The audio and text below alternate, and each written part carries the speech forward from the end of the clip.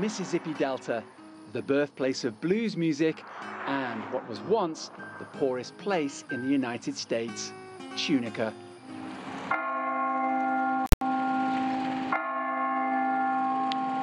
But Tunica's fortunes changed in the early 1990s when riverboat gambling was legalized.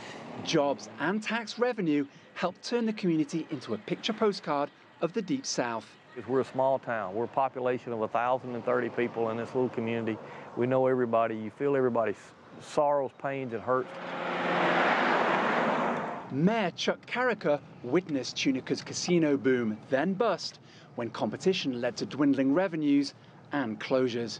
I hate to see when a casino closes because that changes our our jobs for people. It changes the number of uh, our unemployment rate goes up and it, it dislocates families. Now Tunica is betting on sports gambling to revive its fortunes.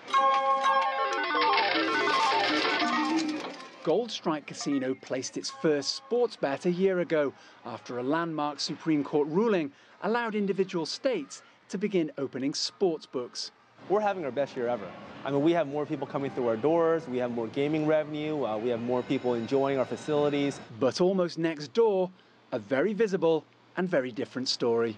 Sports betting arrived too late for some companies in Tunica.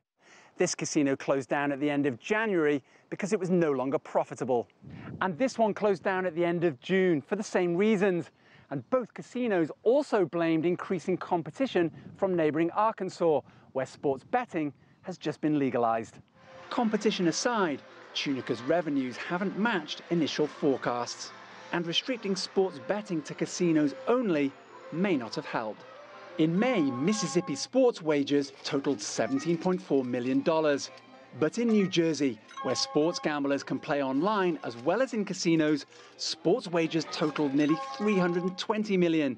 Nowhere else in the US took as much money. And in this rush to cash in, some experts are concerned about the lack of research into the impact of being able to bet on any element of any sport, whether in a casino or on your phone. We know that gamblers tend to be impulsive. And when you're watching, you're in the middle of watching a game or a match, and you can make a wager on some odd event that occurs. Um, it both keeps you excited and invested in the game, but it also uh, might prey upon or be predatory to people who tend to be impulsive in nature. Seeing our town grow is what's nice. In Tunica, Chuck Cariker is trying to reduce his community's economic dependence on gambling by diversifying tourism while overcoming Mississippi's recognized stigma of slavery.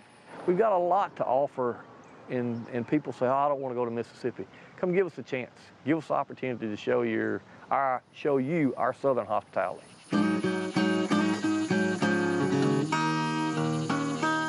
Town steeped in the blues that needs a sure bet to secure its future. Owen Fairclough, CGTN, the Mississippi Delta.